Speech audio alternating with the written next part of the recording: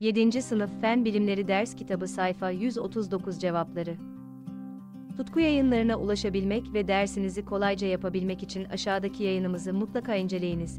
7. Sınıf Fen Bilimleri Tutku Yayıncılık Ders Kitabı Cevapları Sayfa 139 günlük yaşamınızda kullanmadığınız pek çok maddeyi geri dönüştürerek çok farklı ve kullanışlı ürünler elde edebilirsiniz.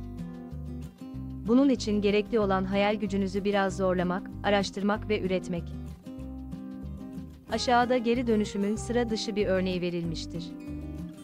Hollanda'nın Rotterdam, Rotterdam kentinde 3 boyutlu tasarım üzerine hizmet veren The New Rav, The Ney Rav, tasarım şirketi plastik atıkların yeniden değerlendirilmesi için daha önceden uygulanmamış bir çalışmaya imza attı.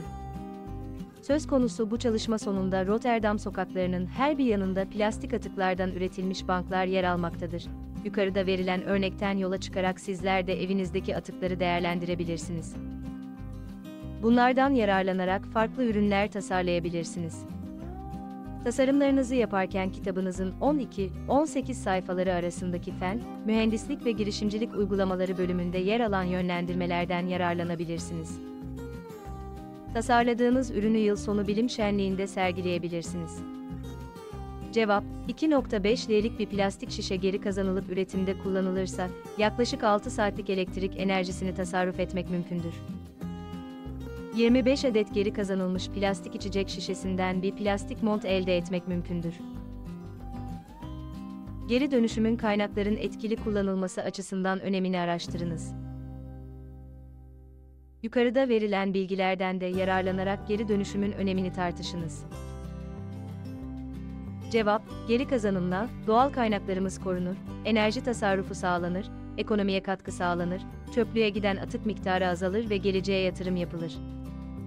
Geri kazanılmış bir ürün ile hayal bile edemeyeceğimiz birçok yeni ürün elde edilebilir. Örneğin, geri kazanılmış soda şişelerinden tisirtler, taraklar ve milyonlarca diğer plastik eşya yapılabilir. Hatta yeni bilgisayarınızın kutusu bile geri kazanılmış plastikten yapılmış olabilir. Geri kazanıma uygulamak hiç zor bir iş değildir. Geri kazanılabilir malzemeleri diğer çöplerle birlikte atmayıp geri kazanım merkezlerine göndermemiz bile yeterli olabilir.